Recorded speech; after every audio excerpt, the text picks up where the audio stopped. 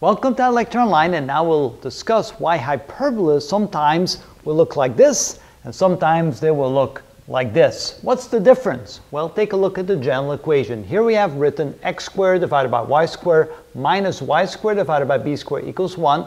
And here the equation is y squared divided by a squared minus x squared divided by b squared equals 1. So what we've done here is we've interchanged the x and the y over here. So when x comes first, the parabola looks like this. When y comes first, the parabola looks like this. Notice we did not change the constant a and b. a is the constant that is associated with the vertices. So you can see here that in this case the vertex is defined as the point at minus a0 and at a0. Over here the vertex is defined by 0a and 0 minus c. So the a is always associated with the vertex, and that's why here it's underneath the x squared term, and there it's underneath the y squared term.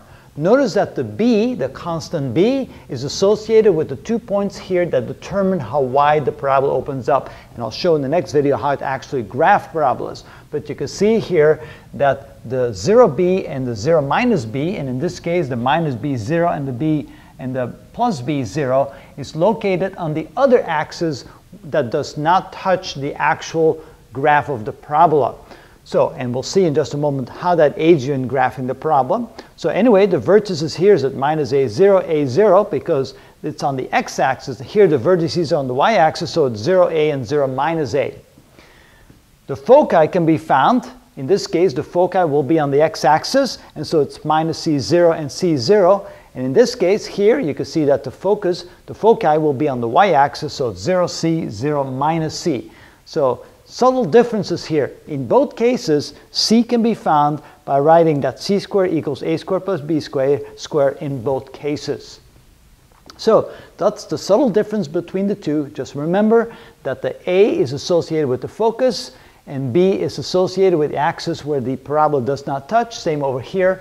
A is associated with the focus, in this case on the y-axis. B is associated with the axis where the, the graph does not touch. And notice that if x goes first, the parabola opens this way. If uh, or parabola, the hyperbola, the hyperbola opens this way. And if y comes first, the hyperbola opens this way. And as soon as you see that, then the rest becomes easy. So in the next video, we'll show you how to actually graph a hyperbola.